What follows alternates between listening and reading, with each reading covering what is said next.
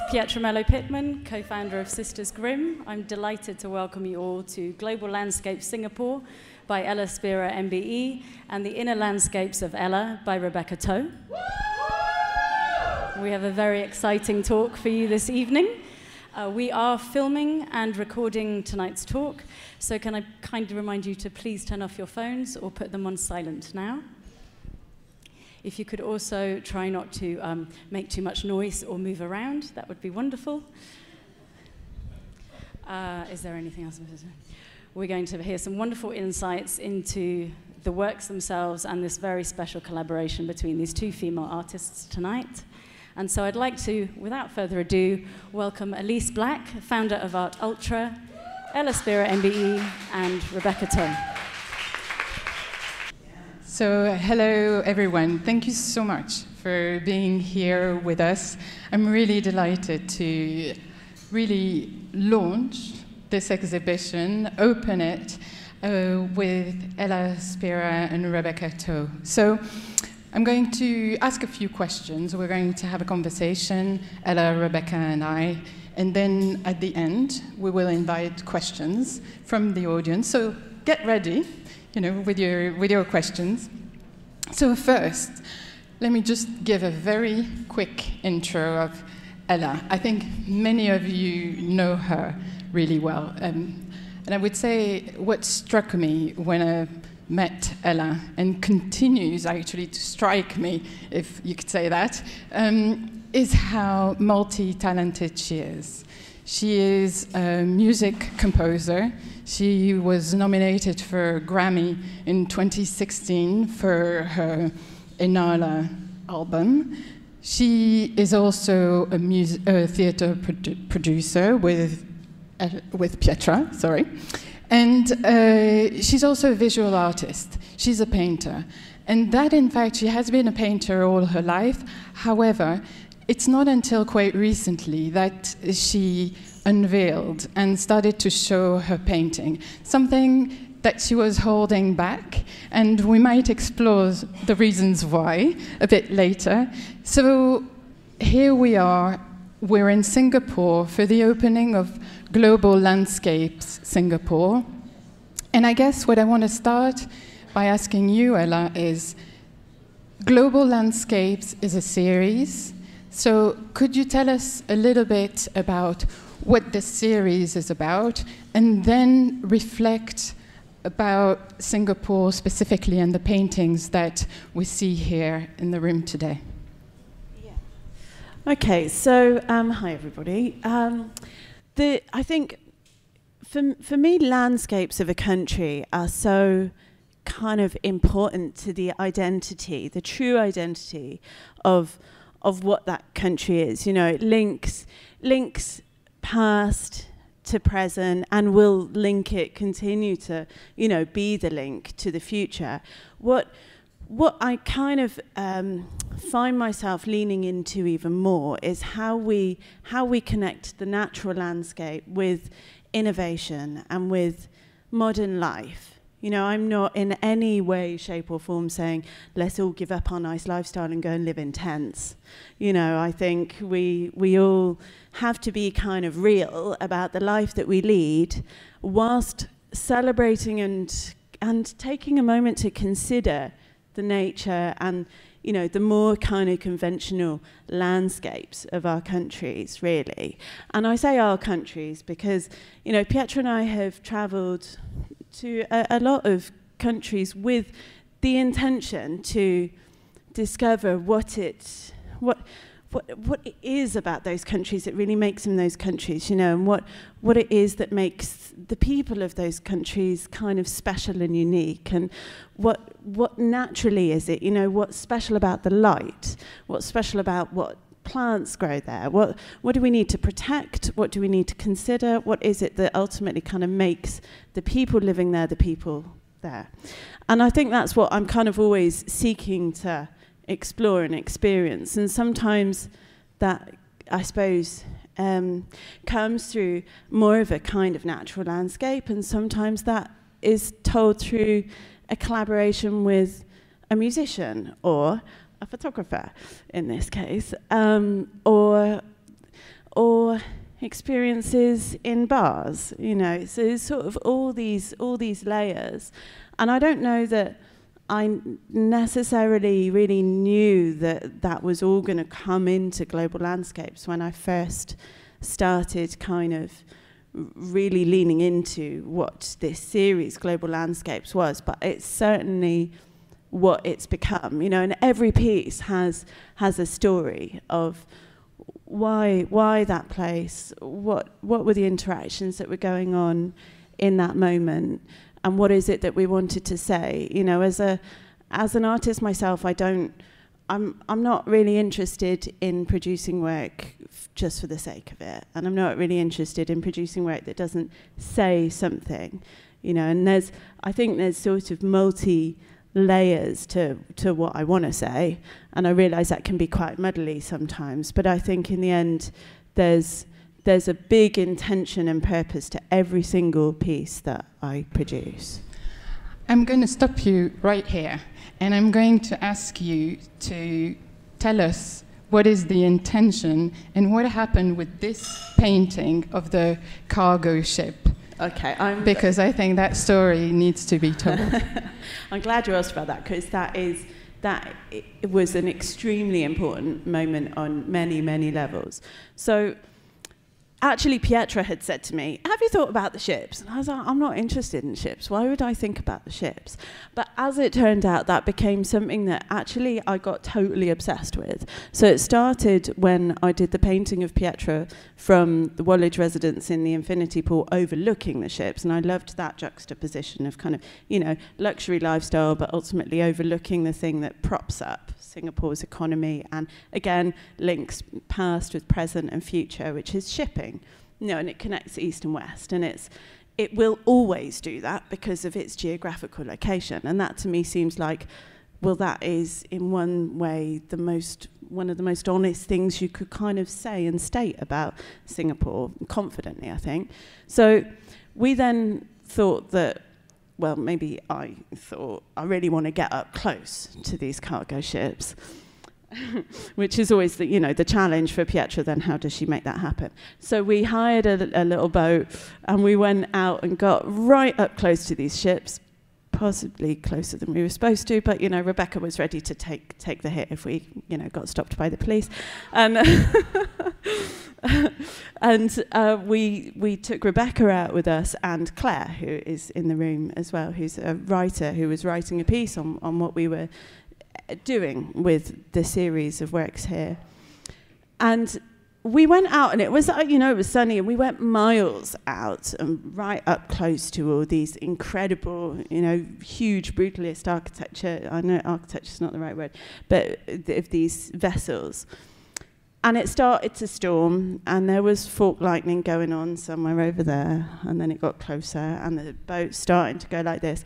And I've got my canvas out on the front of, you know, on the front of the little boat that we had. And it started to absolutely chuck it down on us. It was that day that was really rainy very recently that just stormed and stormed and stormed. And, you know, we were out for probably three hours in, you know, mostly it being very stormy.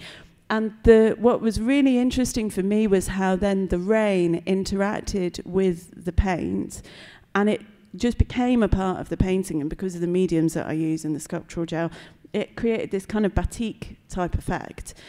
So then, I mean, that, that was the beginning of our relationship as well. And I think that that painting means a huge amount to me because of lots of reasons.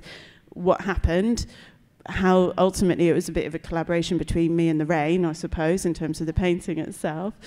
And then when it came to also finishing the piece, I finished part of it at the studio. But it, um, I didn't want to interfere with what the rain had done. I felt like I would be, you know, stepping on the toes of nature.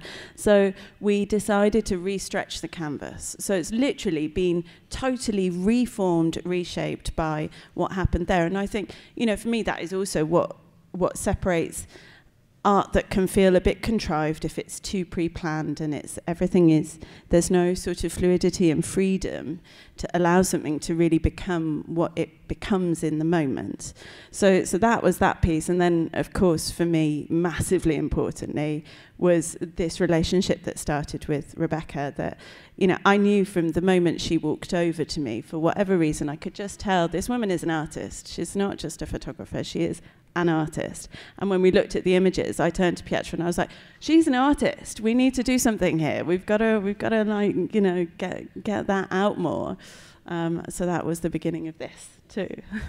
well, that's the perfect jumping off point. And um, let me introduce now Is it my Rebecca. and um, Rebecca, so you're a commercial photographer and you've been professionally working with editorial publications and advertising and big brands, and you've done that for over 10 years. Um, but you have also your own personal projects. Yes. And originally, as I understand, you were brought in to document the process of Ella creating global landscape Singapore. And you can see some of those amazing shots in the video at the back. I really urge you to look at the video before you leave tonight. And something sparked between the two of you. And then I guess inner landscapes were born. So take us through what happened and your relationship with Ella and right. inner landscapes. Yeah, so okay, so I was commissioned actually for like a magazine article actually to shoot like behind the scenes um, photos for this uh, very fateful trip out to the storm, right, uh, on the boat. And that was it. It was like a one-off, high-buy kind of relationship, right? in a way. Yeah, so you know, but then like like Ella said, uh, she I guess after the the first day, you know, that we spent together on the boat, you know, she looked at the photos and she was like, this is nice, you know, like, why don't you continue to just follow us um, around Singapore? Because we're going to be here for a while. Why don't you just uh, document, you know, what happens when we're here, right? At first, it was a little bit like that. And then I was like, okay, yeah, why not? You know, I'll do that. And then we started spending time together. And I guess then we realized that, you know, we were talking so much and we realized yeah, maybe, you know, we, we really do click and we connect in a strange way. And maybe we can do something more strange way. Why do you laugh? Um, yeah, so I guess, you know, uh, now you've seen the photos, right? It's called Inner Landscapes of Ella. Uh, it's really a response to what Ella was already doing, global landscapes, right? And, and it really came about because, you know, we were meeting for a few weeks already, and then we thought, Ella said, okay, I'm going to do an exhibition and I want you to show uh, your photos as well. And I was like, but I don't want to just show behind the scenes photos, right? Of Ella going to the to the art shop buying canvas and and trying to find like wine glasses to to record, you know. I, I thought that there's something more. And then I thought, you know, since I've been connecting with Ella in that way, maybe I can explore Ella right? As Ella has been exploring the world, right? So maybe I will be the one to sort of get into this person, understand who is the artist behind all this amazing work, right? And I think then it became kind of like a dialogue between two creators, and then two human beings also, you know. So I think inner landscapes evolved in a very organic way like that. Yeah. It, it did, and uh, I've been privileged to see a lot of the photos and the brushes, and you can see some of the contact sheets as well in the in the entrance to the galleries, and you'll see there's so much more to it. And for me, it was really incredibly insightful how you seem to get under the skin of Ella and, and show her as a, as a person having fun, or sometimes in moments, uh, very private moments, but without any deflection on her part. She's just open and she gives herself to you. And I would say that it seems to me that in that relationship between you and Ella, there was also a different, an artist that came to the fore in you, a different kind of photographer. Did you change the way in which you were taking photography when you started doing those more intimate portraits? I don't think so, right? I think like the the way I shoot is very instinctive, you know, and it's very like I don't think I can shoot another way. Uh, even as although as we are speaking, I'm trying to explore a lot of different ways of expression, but in the end, it's still me. But I think there was a different change in mindset uh, because of you know in my conversations with Ella, she was like, you know, I think you should because I am an advertising and commercial photographer right? So I have clients. So I have always been shooting for clients. I always have a commission and all that. And of course, I do my personal work on the side, right? But then Ella was the one who told me, like, I think you're an artist and you should show your work. And therefore, I'm going to open myself up to you and I'm going to let you do whatever you want with me. And I was like, oh my God, this person is crazy. like, this person is trusting me, right? Like, you know, they always say like when a photographer takes a photo of you, stealing your soul. So it was a bit like Ella, like, I'm gonna give you my soul, you know. It was very kind of her. So, yeah. And that shines through these images. And I think now I want to come back to you, Ella, um, because this is something very special that you have in all your different the different art forms that you practice, you're always collaborating with people. It, it feels it's accidental, but, but equally it's not. And I think you've had some amazing collaborations in the past through your careers. And I wondered if perhaps you could tell us a little bit more how you work with other artists. I'm thinking about um, Ladysmith Black Mambazo, with whom you, you created the Inala performance. I'm thinking of DB, with whom you created for 50 for 50. I don't know, pick, pick a story and, and tell us that story because they're, they're just enchanting. So um, I think collaboration has been there from the beginning for me, and it is, I think, you know, I feel like when you find the right collaborators, you're stronger together than you are individually.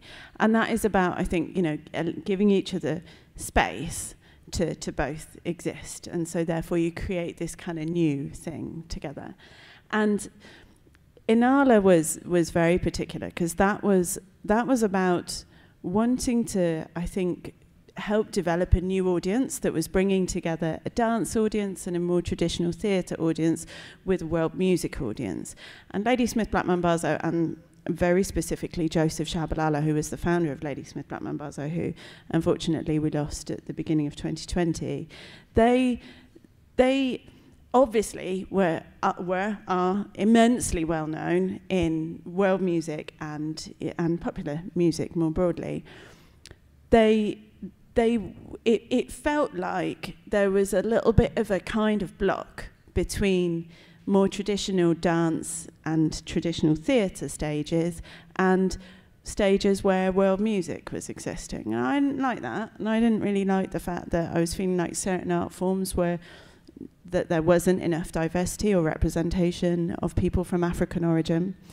And and I was desperate to work with Ladysmith Black Mambazo. So I thought it feels like an opportunity for us to put something to them.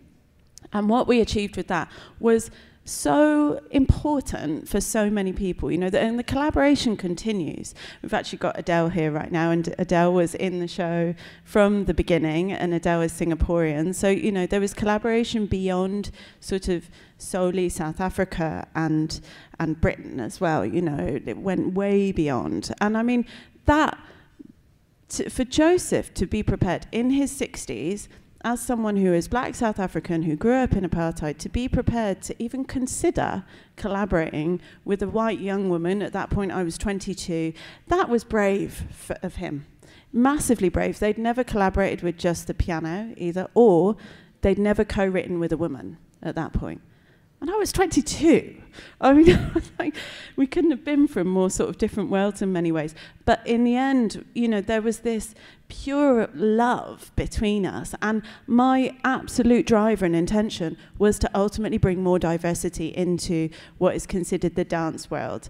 And therefore, you know, also create a new audience, make it more accessible. And we certainly achieved that. And what I love with the narrative of that too is that the collaboration kind of continued and evolved to then the young people that we invited in as part of the social impact program that we built in around our shows. And we have now had 8,000 young people benefit from our programs for free.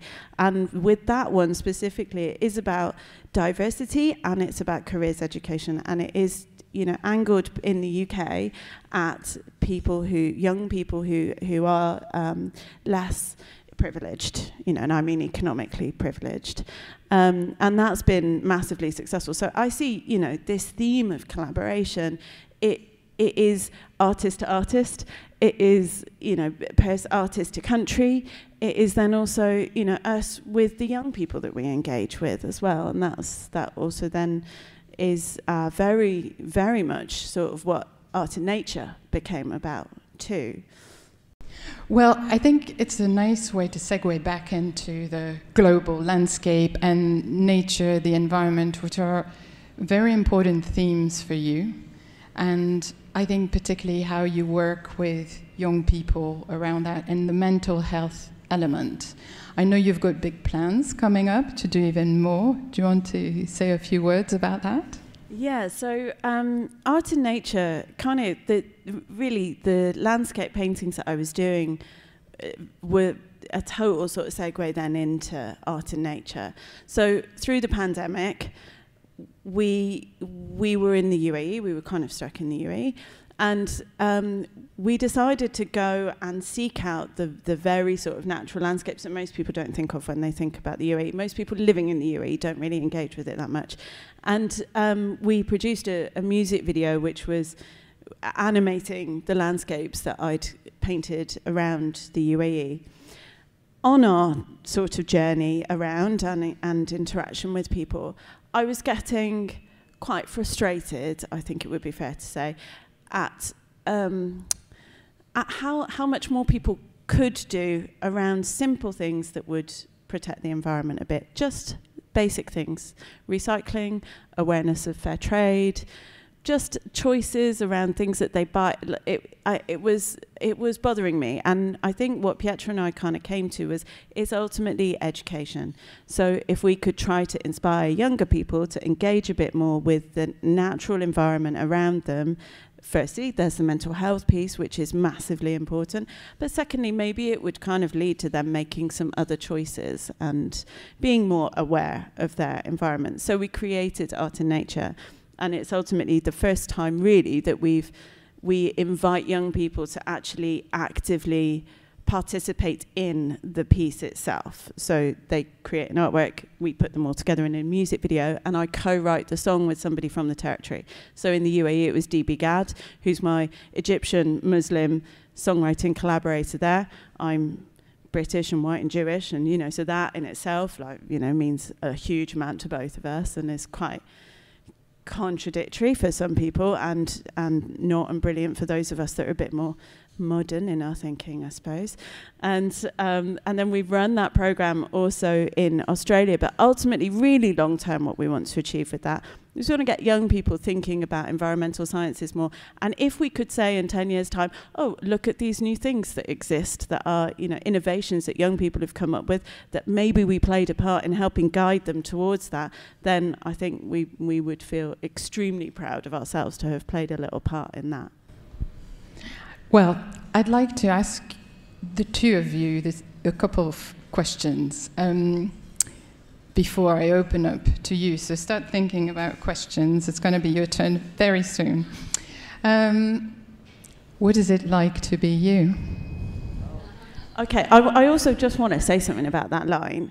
Um, Rochelle, don't squirm. But I did this uh, interview with Rochelle from the Robb Report, and she's she's a, a youngish new writer. And the first thing she asked me was, "What is it like to be you?" So, and I just thought that was such a brilliant thing for a journalist to ask.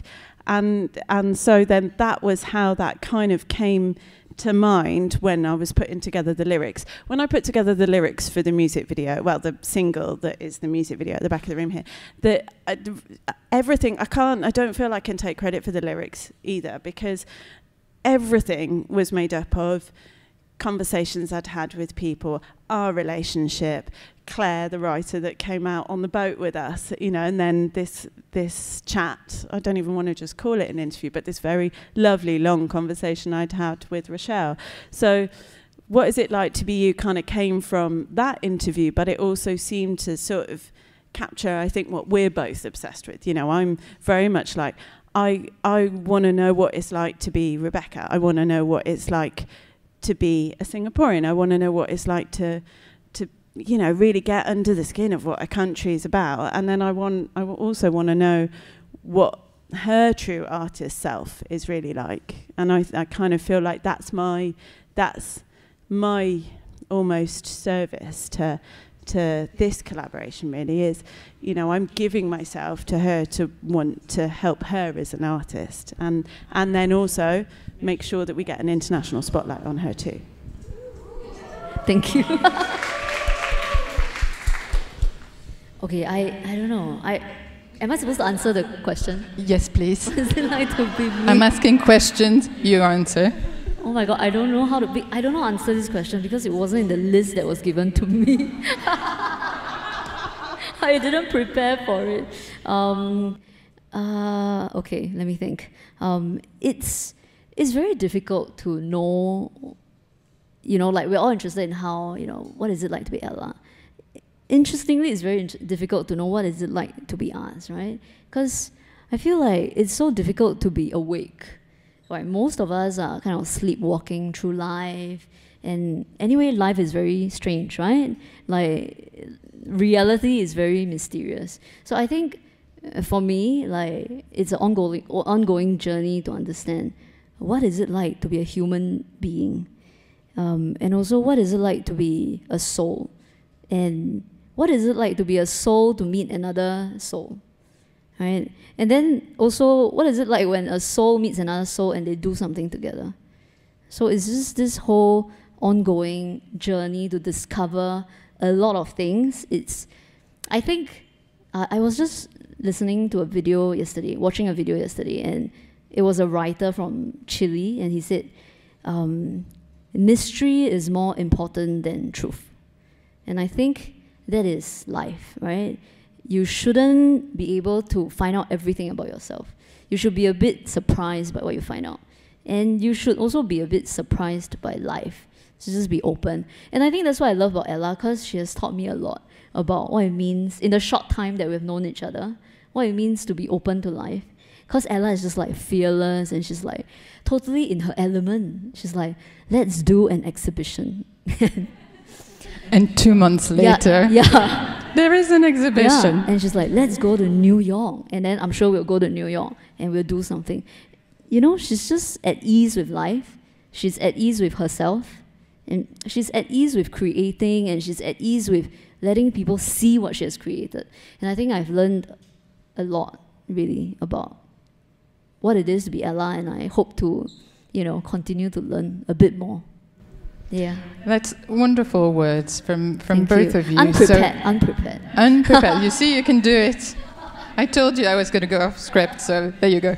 Um, now, let me turn to the audience. Any questions for Ella or Rebecca?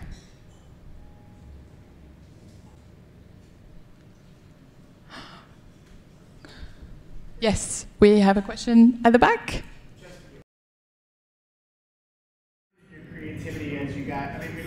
Fast-paced, very busy environment, very distracting environment, particularly Singapore that's digital. Everything's changing all the time. What keeps you guys grounded in the purity of your creativity? And, and Rebecca, you just said something about the continued mission of mystery and unlocking keys in life and things. How do you guys stay rooted to your original messages that you want to be portraying in your art? That is a, okay, that is a really good question. Um, I think okay, I, I have a sort of a few fundamental things that for me are, I guess, kind of pillars. And one is the, the just a completely obsessive, all consuming desire to want to create more equality and get get be done with segregation and try to try to kind of do things that is is not just talking about, but is doing the thing of bringing people from different cultures and different backgrounds and different diversities and different abilities, you know, all all those things together, you know. And I think that that grounds me always because that isn't something that you can do on Instagram or Twitter. I don't. I do you know what? I shouldn't even talk about that stuff because I'm the person that thinks that being on WhatsApp is doing social media. So I am not someone to comment on social media, but.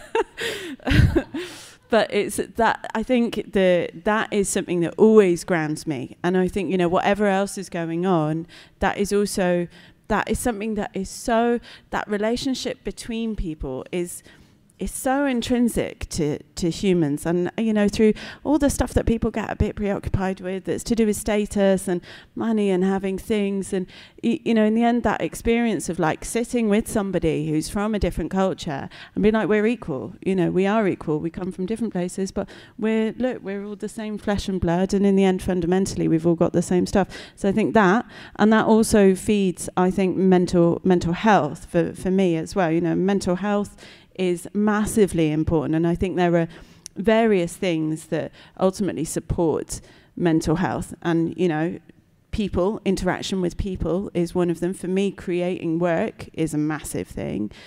Nature. And, you know, also, nature doesn't care what watch you've got on. Nature doesn't care what car you drive. It's, you know, it's never gonna.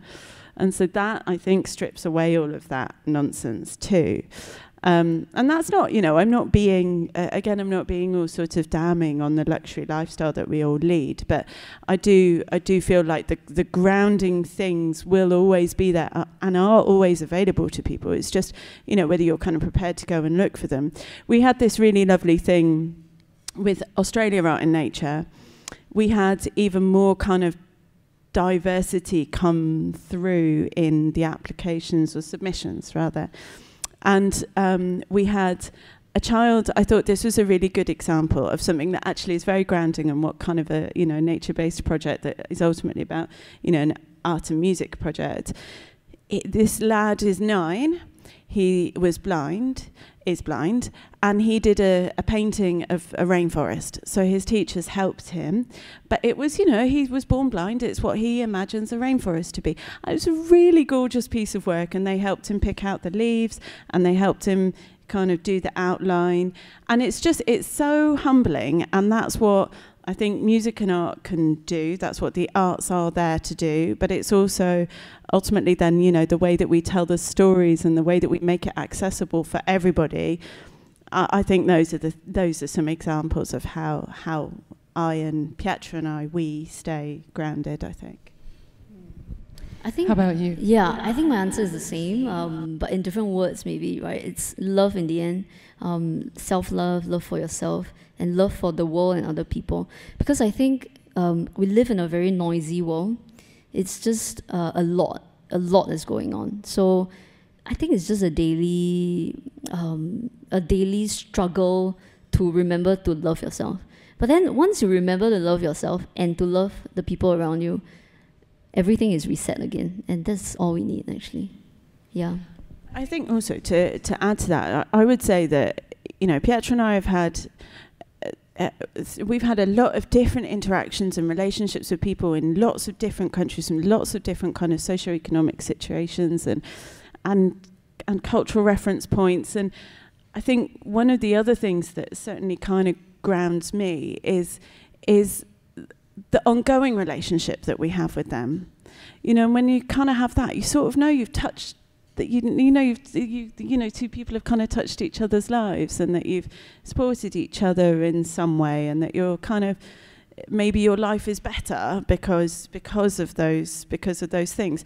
You know, there there are people who are in the Amazon who are locals in the Amazon that we spent time with who get in touch with us, got in touch with us through the pandemic, you know, and those things you sort of think, oh, they're there with with the pink dolphins and with all the flying fish and all the stuff that you know we kind of is so out of reach for us in one way but isn't because we now got this relationship with them and we've got this contact with them and and you know in the end if you weren't being if you weren't approaching those places with open arms and as a friend, it would be very transient and you wouldn't have any ongoing kind of relationship with any of those people.